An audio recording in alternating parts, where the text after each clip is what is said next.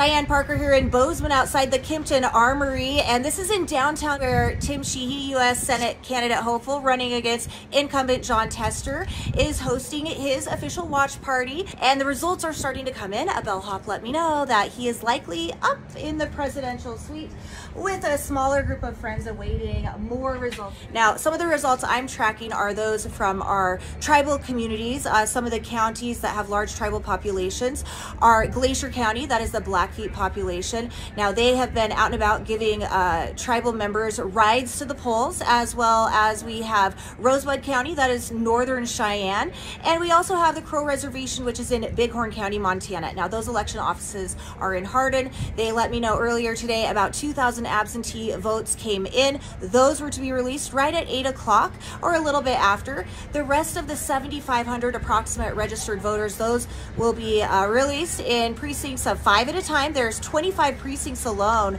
just in Bighorn County. And there is some controversy over this due to some comments that Tim Sheehy uh, was heard on camera making some sort of disparaging remarks, stereotyping Native Americans as the quote unquote drunk Indians. Now, for those full comments, you can view our stories on MTN. Let's go ahead and listen to some sound. I rope and ran with them every year, you know, down there. So, great way to bond with all the Indians to be out there while they're drunk at 8 a.m. and you're roping together. It's really, um, that's disgusting. But that's, that's not who we are, and that's never going to be who we are as a not representative of who we are.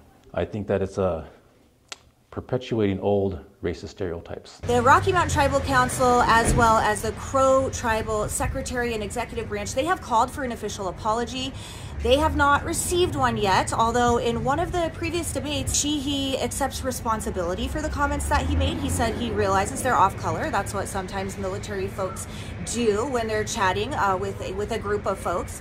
Uh, so he took responsibility, but he didn't directly apologize. Now, our tribal communities are calling for that official apology. We are watching those results come in on the Secretary's website. We're tracking those results. They will all be posted to the state website, and you can view full results there. For the people My name is Tim Sheehy. From the Kimpton Armory in Bozeman, Dianne Parker, MTN News.